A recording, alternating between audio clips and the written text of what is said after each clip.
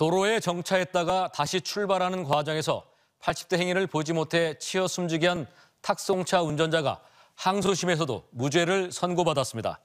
대전지법 제1형사부는 지난 2022년 5월 대전 동구 효동 내거리에서 차량을 출발하면서 무단 횡단하던 80대 행인을 치어 숨지게 한 혐의로 기소된 탁송차 운전자 A씨에게 무죄를 선고했습니다. 재판부는 탁송차 운전석이 높아 피해자를 발견하는 것이 어렵다며 운전자가 주의 의무를 다하지 않았다는 검찰 주장이 제대로 증명되지 않았다고 판시했습니다.